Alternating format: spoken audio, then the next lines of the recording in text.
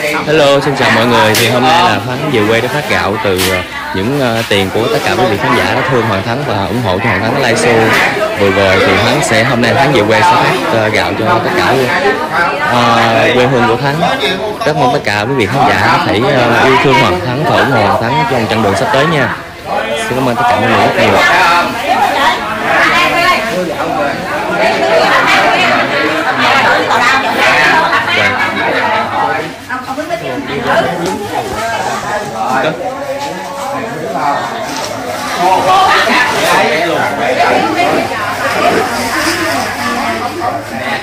Thiếu là thiếu thiếu đó hai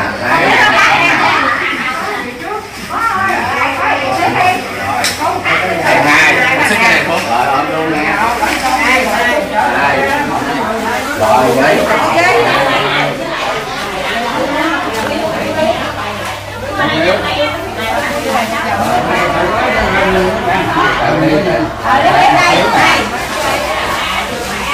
rồi bà ba một phiếu nè.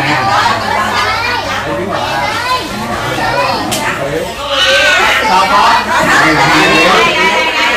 Hai phiếu nè.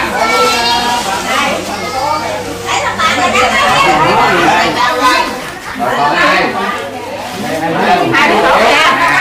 ba phiếu nào Ai chuyện kha khảo rồi? bà ba đi lên nghĩa trang rồi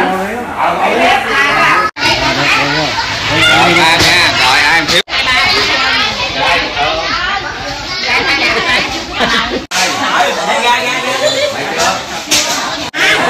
và Thắng cũng xin cảm ơn tất cả mạnh thường quân và tất cả khán giả của Sài Gòn Tân Thời đã à, quyên góp lại và à, đưa cho Thắng và Thắng về quê à, phát gạo cho bà con tại quê của Thắng.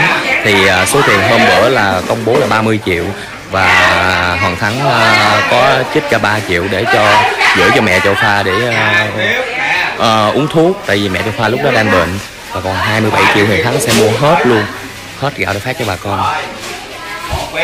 Dạ, xin cảm ơn tất cả mọi người rất nhiều và mong tất cả mọi người hãy thương hồng Thắng và hãy ủng hộ Thắng cho chặng đường sắp tới của Thắng. Dạ, xin cảm ơn tất cả mọi người.